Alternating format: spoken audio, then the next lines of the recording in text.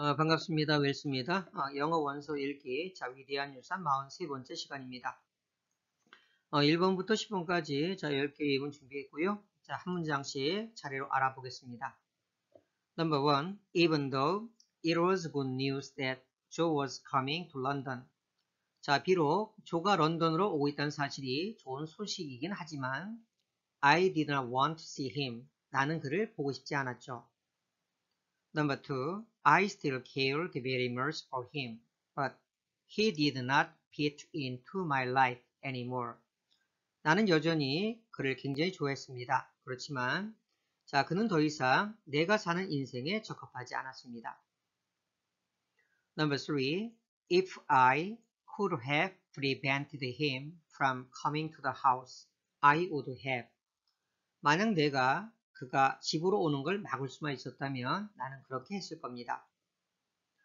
Number 4. I felt guilty because I was not kind like Billy said I was. 아, 나는 죄책감을 느꼈죠. 왜냐하면 자 과거 비리가 말한 것처럼 나는 친절하지 않았기 때문입니다.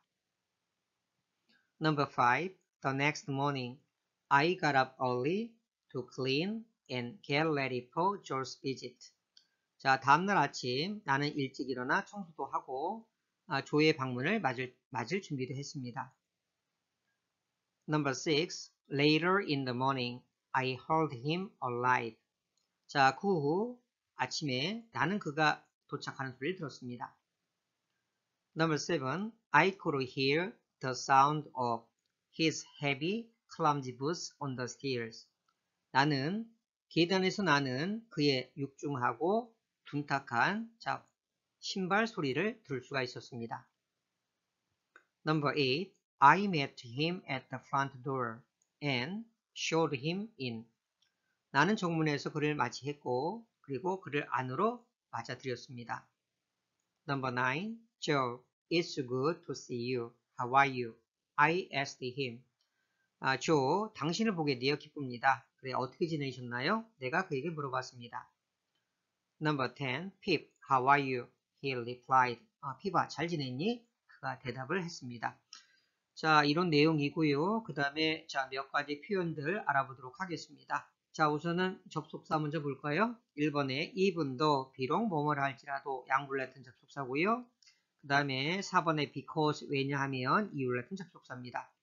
자, 그리고 아, 6번으로 가면 hurt. 자, here의 과거형이고요. 지각동사죠. 오형식. 힘이 목적어, 동사원은 alive가 목적보입니다. 그가 도착하는 걸 듣다.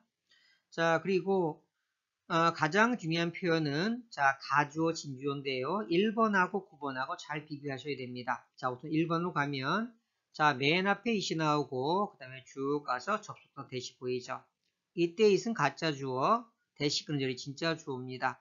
어, that절 이하를 갖다 it절 자리에 집어넣으면 됩니다. 자, 고, 조가 오고 있다는 것이 좋은 소식이다. 이렇게 되고요. 자, 9번도 보면 자, 형태는 다르지만 맨 앞에 it이 오고 그 다음에 쭉 가서 투부정사 보이죠? 마찬가지 가주어 진주입니다. 아, 진짜 주어 투부정사를 it절에 집어넣으시면 됩니다. to see you, 너를 보다니 기쁘다 이렇게 되죠. 자, 1번하고 9번. 자, 가주어, 진주어가 두 가지 형태를 쓰였고요. 용법은 똑같습니다. 진짜 주어, that절이나 투부정사를 it 자리에 대입시키면 됩니다. 자, 그리고 자, 몇 가지 표현들이 더 있죠? 1번에 I felt guilty 이 표현. 자, felt는 feel의 과거형이고요. feel guilty, 죄책감을 느끼다 그 뜻입니다. 자, 그 다음에 5번으로 가서 뒷부분에 get ready for 뭐뭐 할 준비를 하다 형태죠. 4번, 5번 영어 위에 사용하시기 바랍니다. 그리고 마지막으로 9번하고 10번 가면 How are you? How are you? 어떻게 지냈느냐? 안부 물어보는 표현이죠. 자, 그리고 2번에 자, 수고가 또 있습니다. care for 하면 뭐뭇을 돌보다, 뭐뭇을 좋아하다. 자, 2번에서는 좋아하다 뜻을 쓰였고요. 그 다음에 뒷부분에 not anymore 마찬가지 더 이상 뭐 많다란 수고입니다. 어, 1번부터 10번까지 전체적인 내용 알아봤고요. 그 다음에 몇 가지 문법적인 사항들 그리고 영어 회화에 사용할 수 있는 표현들 알아봤습니다.